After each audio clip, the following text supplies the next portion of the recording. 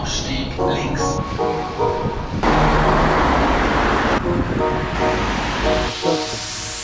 No more word losing something I never had. No more word losing something I never had.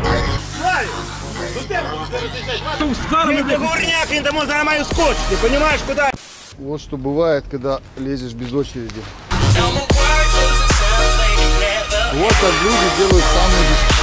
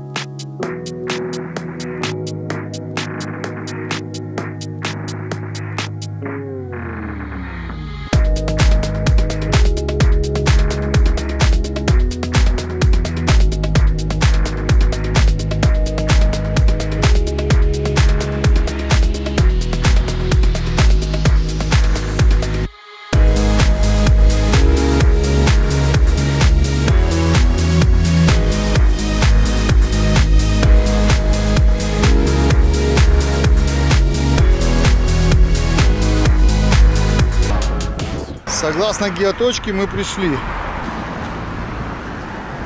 Самое грустное, что я ее пока не вижу, хотя мы ее бронировали нормальненько. Печалька. Друзья, обзора не получится, пока мы ждем человека. Машинки, хочу сказать, очень хорошие, свеженькие, но цен, друзья, нету. Вот такой уставший Mitsubishi. Вы с авто? لا ولا موجود قلت لك دغري طيب يعني Шестой год, друзья, что вам сказать? Нет, тут хорошая краска. Пятый год. Пятый год. Ребят, сначала проверяйте стекла. Если стекло не соответствует, тогда уже там надо проверять более внимательно. Вот это вот так не должно явно быть. Люк почему-то открытый. Там всякого мусора. Диски мне нравится. Состояние колес, конечно. Высокая резина, большие колеса, диски как новые. По правой стороне где-то тут было что-то, тесануло ее. Вот сын мой любит такую кожу. Ага, вот как они тут хитро сделали. Попробуй пойми, две- дверь снималась или не снималась. Хорошо, сейчас мы посмотрим, что там сзади еще. Ну друзья, получила она по правую сторону. Ну, в двери въехал кто-то, помяли двери, сделали похабно. Ключи без кнопок. Вот видите, вот так приехал к автомобилю. Машина не закрывается, надо будет центральный замок делать. Стойки целые, серьезного ДТП у нее вроде как не было. Сейчас еще под капотом посмотрим. Так, электропривод сидений работает. Так, оправы. Работает.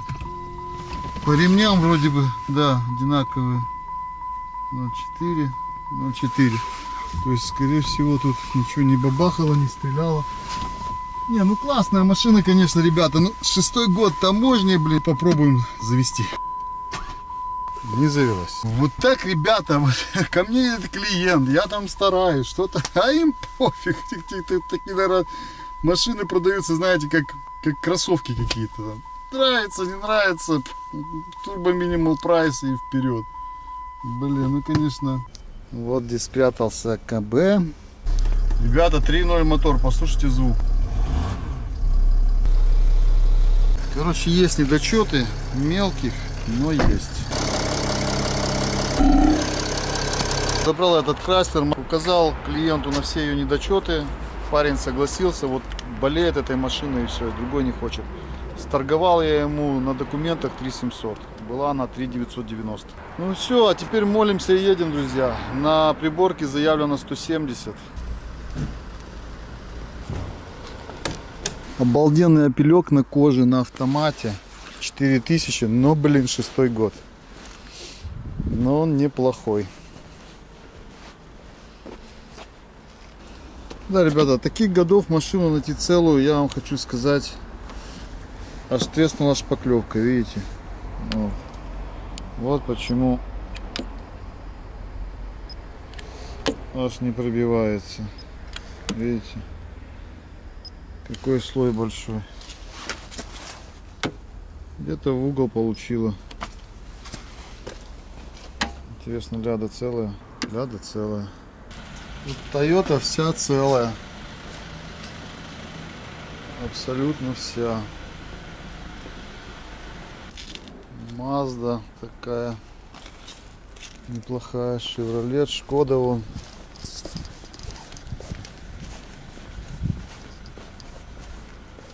Пыжик, Чижик, где ты был?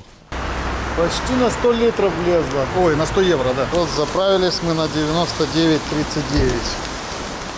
Будем ехать. Не, ребят, конечно, это класс автомобиля, что вам сказать. Да, он шестого года. Да, он не современен, да, но, блин, это же машина. Еду сейчас в Дортмунд встречаться с ребятами, хозяином машины. В 8 утра я прилетел, в 9 был на площадке, сейчас час полвторого я уже выехал.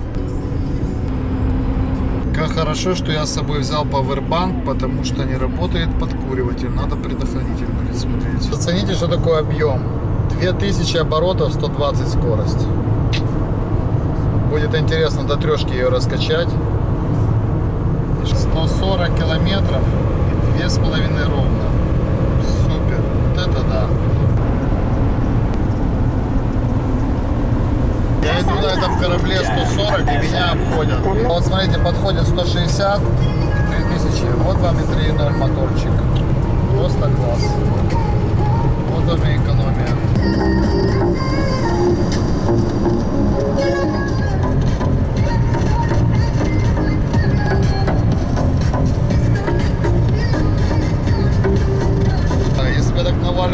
Туксоне, у меня уже пол не было. А тут еду, стрелочка еле, еле сдвинулась. Друзья, разница между Прибалтикой. За 4 евро я съел маленькую булочку и баварскую сосиску. И в Прибалтике. Шашлык, машлык. Блин, в этом плане Германия, конечно. Вау. Как они четко сработали резко влево. Вот что-то там раз и резко влево. Да, в Украине 500 километров звучит как-то тогда. о, А в Германии, блин, он, наверное, часа за 4 проскочил почти. Спать хочу пипец, а еще тулить и тулить. Попил кофейку за 3 евро, бляха-муха. Тут еще, как назло, интернет пропал. Сейчас будем Maps.me запускать. Вот Maps.me незаменимая штука, друзья, видите? Интернета нет, сейчас будем искать ребят. Друзья, великая штука геоточка. Вот человек мне сбросил геоточку, где он стоит, я к нему приехал. Вот сейчас мы увидим хозяина автомобиля, который просто бредит этой машиной. Вот так наши украинцы трудятся Германии на фурах. Видите, как организовано здесь четко. Человек подъезжает, груз готовый, ждет уже. Раз, подцепился и погнал. Такие машины, видите, возят. Ребята спокойные, подошли, положив багажник, такие, знаете, как, как будто купили какие-то перчатки, да, даже не машину.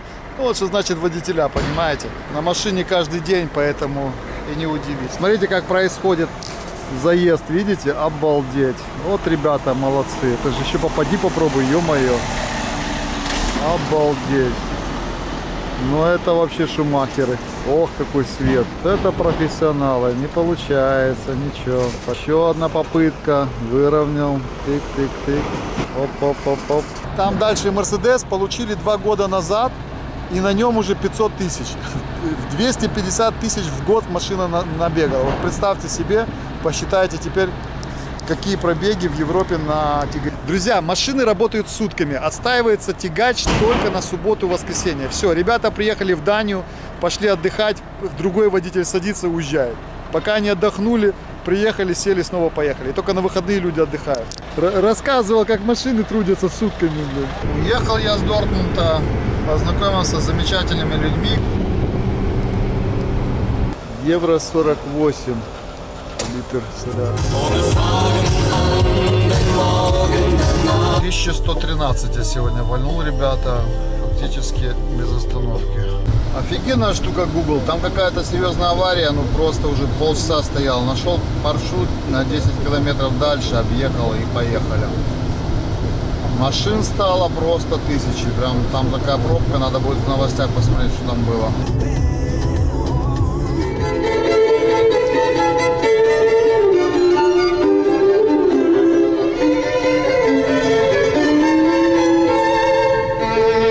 Я вам хочу сказать, машина шестого года, как она едет. Эмоции зашкаливают, блин. Какой руль, посмотрите. Деревянная вставочка или под дерево, кожа, какое качество. Обалдеть. Состояние всего, посмотрите. Состояние машины, я не знаю, но как реализовано здесь. Посмотрите, это шестой год, да, ну просто красавица. Здесь как все. Блин, тачка реально, ну она мне раньше нравилась, вы знаете, я когда ее первый раз увидел, их, по-моему, с Америки начали тягать. На таких огромных-огромных колесах. Свадьбы катать. Ну, конечно, машина смотрелась просто офигенно, правда? такая представительская. В черном цвете она, конечно, шикарно смотрится. Я, я получаю удовольствие, ребята. Спасибо э, моему подписчику за доверие, за то, что вот так вот доверил э, покупку его автомобиля. Сам нашел, попросил купить, так как он на работе в Германии. Вот. И автомобиль сейчас едет в Украину, будет его ждать в Киеве. Он приедет с работы где-то январь-февраль, начало февраля и будет уже ехать домой на новом автомобиле. Если бы не такая шкурная растаможка, тут так работает мотор, ребята, что вот у меня дизель с объемом 1.7, 1.6, ну, совсем другие ощущения. А старты эти, динамика, это вообще это нечто, как она ускоряется. Я ее сравниваю с Audi A6. Вот она тоже такая плавающая машина, такая она мягкая, и вот это вот то же самое.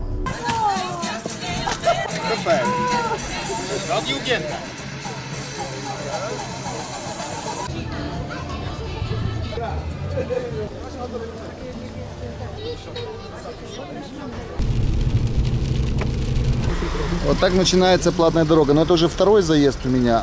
Вот, нажимаете, выдается такой талончик, его не теряйте, потому что по нему вы будете потом оплату делать. Номер 911. Прям как мой телефон 911. Вот эта пробка такая массовая, где-то, наверное, с километра полтора на оплату по этим вот самым талончикам. Dziękuję bardzo.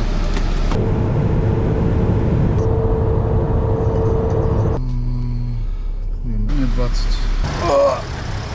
О, достал. Надо ближе подъезжать. Еще один магнитный. Расход 77 э, литров на 100 километров. День добрый.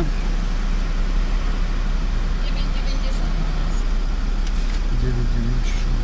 Хорошо. Вот это кайф, когда видишь капот такой мощный впереди. Прям так ух, уверенности такой, смотрите. И поехала машина.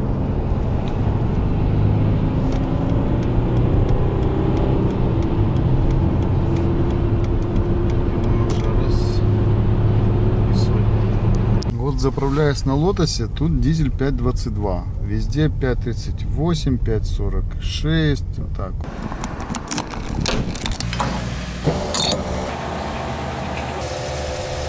Я думаю, что до Украины должно хватить. Пока рекорд 7,5 литра на 100 километров. Вот какие поляки молодцы. Я уже где-то два раза забываю свет включить. И мне морг моргнули. Я оп, сразу, что не так, свет не горит. Друзья, что заметили? Вот кто ездит, обратите внимание, нет в таком количестве аптек, как в Украине. Вообще, вот редко встретишь аптеку.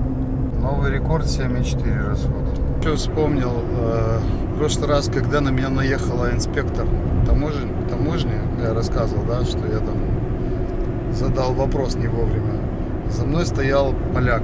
Он когда это увидел, перепугался, ходит ко мне, говорит, «На- надо что-то ей дать. Я говорю, даже не смей. Не смей, говорю, ничего давать. Хватает он своих, кто ей дает. Блин. Это надо было видеть, лицо перепуганного поляка. Я ведь на первый раз границу проходил, не знаю, куда он ехал, что вез. До границы еще километров. Офигеть просто. Это же